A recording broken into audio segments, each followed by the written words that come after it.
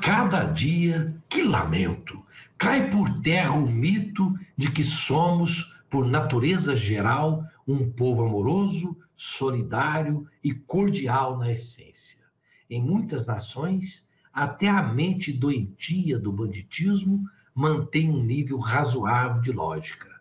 Um horror constatar, por essas bandas, que a maldade sem limites tem se tornado regra.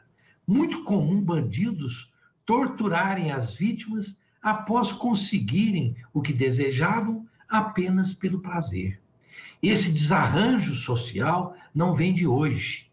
Por ausência de sentimento coletivo e doses cavalares de sadismo imbecil, ladrões derreteram a taça Jules Rimet, símbolo máximo da conquista do futebol. Outro dia, no Rio Grande do Norte, roubaram doses da vacina contra o coronavírus que provavelmente se perderão antes do uso correto. Olho no olho, essas barbaridades entristecem, desanimam e endurecem o cidadão.